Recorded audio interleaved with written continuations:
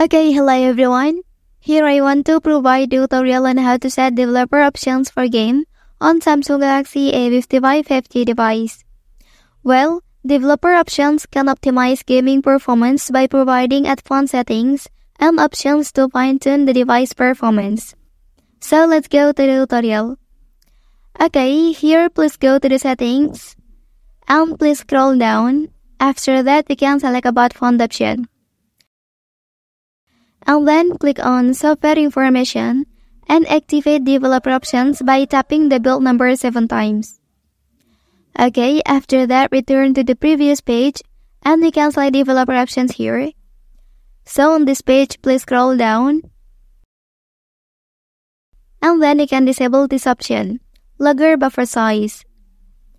Okay, after disabling, you can scroll down again and tap this option, graphic drivers. Then you can choose the game you want to set. Here, if the game you choose has a built-in graphic driver, then you should set it with the game's default graphics. But if not, only can choose this option.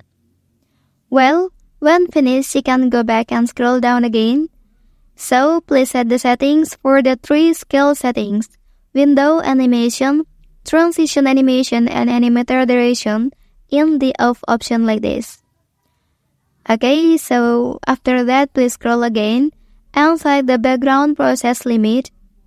And here, please add it in no background processes. Well, that's the tutorial on how to set developer options for game on Samsung Galaxy A55 5G device. If you are helped by this video, don't forget to like and subscribe to get other information from this channel. Thank you.